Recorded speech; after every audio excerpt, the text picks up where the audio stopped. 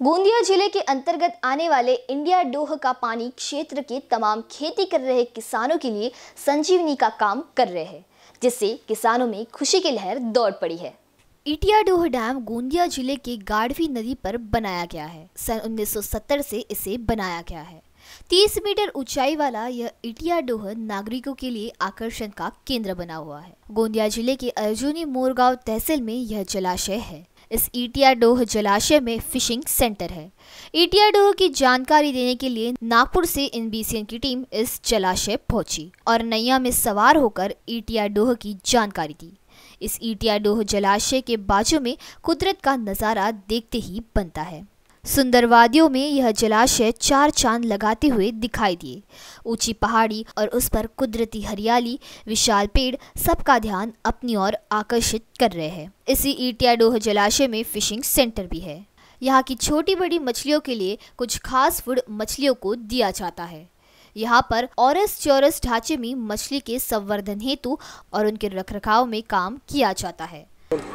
दर्शक नमस्कार, इस समय में इन बिशन की टीम एक ऐसे डैम के पास खड़ी है। उस डैम की खासियत ये है, लेकिन उससे पहले मैं आपको बता दूँ कि महाराष्ट्र महाराष्ट्र ये सुजलाम सुफलाम और इसलिए कहा जाता है क्योंकि इस महाराष्ट्र में कई ऐसे धरोहर है जो आज भी ज़िंदा है और लोगों के मन में एक काफ़ी अच्छी बात है ताकि महाराष्ट्र का परचम आज भी लहरा रहा है। चाहे खेत खलियान हो, नदी हो, पर्वत हो, जंगल हो या और कुछ ऐसे नेचर से जुड़ी हुई जो बातें हैं, उससे महाराष्ट्र महाराष्ट्र खिलखिलासा नज़र आता है। इसी श्रृंखला में गोंदिया ज़िले के अंतर्गत आने वाले ये वही इटिया डो का डैम है जो 35 किलोमीटर की दूरी तक फैला हुआ है और इस इटिया डो के डैम की एक खास बात यह है कि गोंदिया ज़िले के अंतर्गत आने वाले आरमोरी तहसील के तमाम तमाम उन क्षेत्र में जहाँ किसान खेती करते हैं, उन किसानों को इसी डैम का पानी मिलता है और किसान काफ़ी खुश नज़र आ रहे हैं।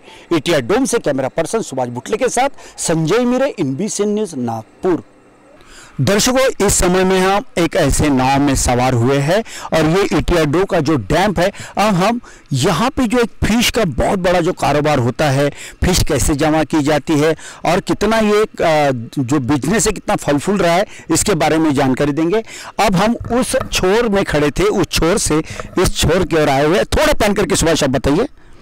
आप देख सकते हैं कि ये जो नीले और जो डिब्बे दिखाई दे रहे हैं, ये उन लोगों ने पूरी तरह से यहीं पे फ़ीस जमा होती है और यहाँ पे पूरी तरह से एक अलग प्लानिंग की गई है कि जिसके चलते इस इटियाडो में जितनी फ़िश है वो अक्सर यहीं पे आती है, क्योंकि ये अनुमान लगाया जाता है कि ये बीच वाला जो पोर्शन है, यहाँ पे ज़्यादा फ़िश जमा होती है और जो लोग जो होते हैं, यहाँ पे जो कामकाज करने वाले, वो फ़िश को उठा के यही बक्से में डालते हैं और इस प्रकार से ये जो पूरा दिखाई दे रहा है, यहाँ पे फ़ीस जमा होती है।